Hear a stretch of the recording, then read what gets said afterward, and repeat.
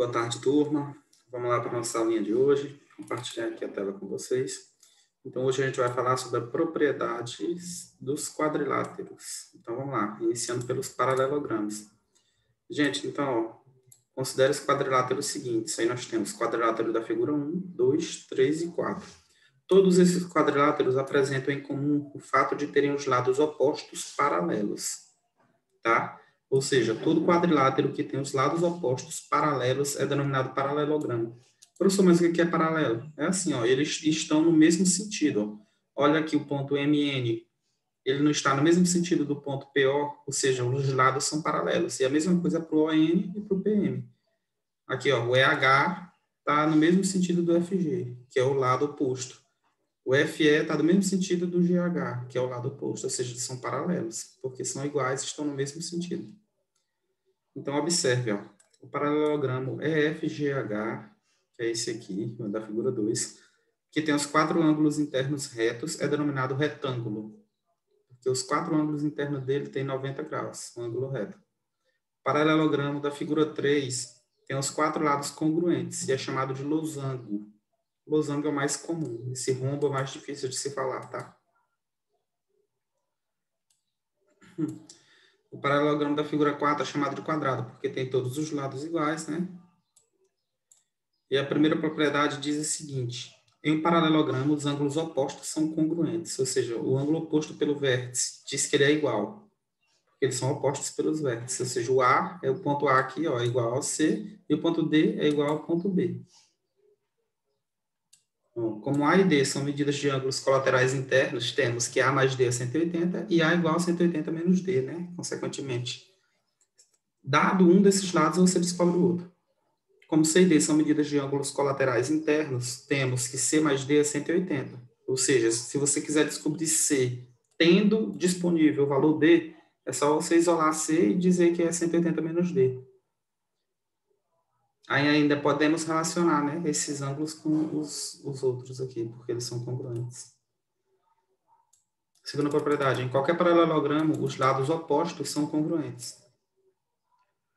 Traçando diagonal AC, que é esse ponto aqui no meio desse losango, obtemos os triângulos ABC e o triângulo ADC, né, ACD, em que A e C são ângulos internos retos e B e D são ângulos alternos internos. Então, pelo caso ALA de congruência de triângulos, temos que o triângulo ABC é congruente ao triângulo CDA, ou seja, são iguais. Em qualquer paralelograma, as diagonais cortam-se ao meio. Traçando as diagonais AC e BD temos, ou seja, é só diagonal significa que você vai tocar um ângulo no outro. Simples assim, é só traçar uma reta entre um ponto e outro, um extremo e outro, tá, gente? Traçamos as diagonais AC e BD e nós temos A igual a C, ângulos internos alternos, e AB congruente a CD, lados opostos. Eu digo também que B é igual a D porque são ângulos alternos internos. É só fazer igualdade, gente. Os ângulos opostos aqui sempre são iguais, ó. Aqui ele é oposto pelo vértice, assim como C e A, então eles são iguais. Então, pelo caso ALA de congruência, nós temos que esses triângulos são iguais. Como consequência, esses lados também serão iguais. Portanto, o ponto M é o ponto médio, tanto da diagonal como da diagonal. Esse ponto M aqui é o ponto de interseção entre essa diagonal e essa diagonal. É o ponto onde eles se tocam. Então, é o ponto médio. Vamos estudar os paralelogramos agora, que recebem os nomes de retângulo, losango e quadrado o retângulo, gente. Além das propriedades dos paralelogramos, o retângulo apresenta uma propriedade característica. As suas diagonais são congruentes. De acordo com o retângulo nos triângulos ABC e ABD, temos que AB é igual a AB, né? O lado é comum. Os ângulos retos aqui também são congruentes. E esse lado BC e o lado AD são lados opostos do retângulo, né? Aqui, ó, BC e AD são ângulos opostos. Pelo caso, se quiser fazer a diagonal de congruência desses triângulos, nós temos que esse triângulo ABC, ó, ABC, ó, esse triângulo aqui, está grifado de azul, e esse triângulo aqui, DAB aqui, ó, são congruentes. Losango. Além das propriedades gerais dos paralelogramas, o losango apresenta uma propriedade característica.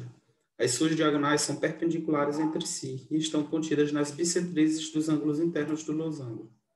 Considerando a diagonal DB do losango a seguir, pelo caso LL de congruência de triângulos, temos que o triângulo ABD é congruente ao triângulo CBD.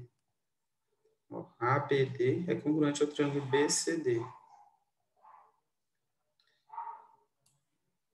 Podemos concluir também que esses triângulos são isósceles, portanto, os ângulos ADB e ABD e os ângulos CDB e CBD são congruentes.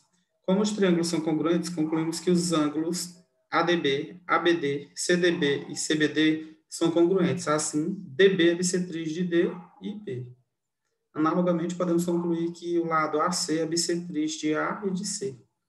Agora vamos demonstrar que as diagonais do losango são perpendiculares, considerando os triângulos AMB, esse aqui, ó, esse triângulo aqui, e o triângulo ADM, que é esse de cima aqui. Então, pelo caso da congruência de triângulos, temos que esses triângulos são congruentes. Logo, os ângulos AMB e AMD também são congruentes. E como eles são suplementares, temos que o ângulo AMB, a média, né, AMB e AMD, é igual a 90 graus. Portanto, esses lados aí são perpendiculares. Quadrado. O quadrado, gente, reúne as propriedades dos paralelogramas, dos retângulos e dos losangos e não são demonstradas, pois são análogas às demonstrações anteriores. Ou seja, ele tem a perpendicularidade, ele tem a congruência, tem a questão das bissetrizes e dos pontos médios. Temos atividades. Deixa eu ver até onde nossa aula vai. Até a página 189. Então, vamos seguir. E a atividade é da página 187. Então, desce. Isso não tem atividade para agora, não. Os trapézios. Vamos lá, gente. Observe os quadriláteros das figuras seguintes. Eles apresentam apenas dois paralelos. Quadriláteros com essas características são chamados de trapézios. Os lados paralelos são as bases dos trapézios, tá, gente? Aqui, ó, base menor e base maior. Aqui, base, men base menor e base maior. A distância entre as bases é a medida da altura do trapézio. Ou seja, tu pega a base maior, menor e relaciona com a base menor, tá? Aqui, ó. Entre os trapézios, devemos destacar dois casos particulares. O trapézio retângulo é o trapézio no qual um dos lados não paralelos é perpendicular às bases. O lado AD é perpendicular às bases. Gente, eu tenho a base AB, tenho uma base DC, né? Esse, esse lado aqui, ele é meio inclinado, né? Já esse aqui não, esse aqui é reto. Se ele é reto, ele tem um ângulo reto. Então, aí é o trapézio retângulo. Isso significa ó, que se você tiver um ângulo reto em uma reta, isso aqui, esse ângulo aqui é perpendicular a esses aqui. O lado perpendicular, quer dizer, esse lado DA é perpendicular à base, porque a base vem nesse sentido como uma reta e você vai exatamente no sentido oposto. Traçou uma reta. Isso aqui se chama perpendicular. Trapézio isósceles é o trapézio no qual os lados não paralelos são congruentes. Vamos apresentar duas propriedades dos trapézios isósceles agora. A primeira diz que em um trapézio isósceles os ângulos da mesma base são congruentes. Ou seja, os ângulos aqui ó, entre A e B são iguais, porque esse aqui é o trapézio isósceles. Em um trapézio isósceles, as diagonais também serão congruentes, tá, gente? São iguais. Aqui um fragmento do papiro de Hind, que já relacionava triângulos é aqui agora a base média de um trapézio. O segmento cujas extremidades são os pontos médios dos lados não paralelos é denominado base média do trapézio. A base média de um trapézio é um segmento paralelo às bases do trapézio. Ou seja, esse ponto, essa reta MN é a base média do, desse trapézio ABCD, tá? A média da base média de um trapézio é igual a metade da soma das, das medidas das bases dos trapézios. Agora aqui na página 187, eu gostaria que vocês fizessem as três primeiras questões aqui, ó. Primeiro, segundo e terceiro, da página 187. Aí aqui agora, gente, tratamento da informação. Isso aqui a gente vê depois, tá?